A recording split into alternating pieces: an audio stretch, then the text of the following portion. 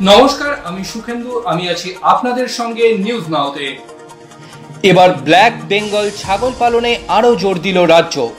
রাজ্যে মহিলা স্বনির্ভর গোষ্ঠী নিয়ে চালু করা হবে তিন হাজার সাতশো বাষট্টিটি গোটারি ইউনিট। এজন্য বিলি করা হবে উনআশি হাজার ছাগল। কোভিডে বিধ্বস্ত গ্রামীণ অর্থনীতি চাঙ্গা করতে এই উদ্যোগ নিয়েছে প্রাণী সম্পদ বিকাশ দপ্তর। ট্যাগ নম্বর দেওয়ার পাশাপাশি ছাগলের বিমাও করে দেওয়া হবে।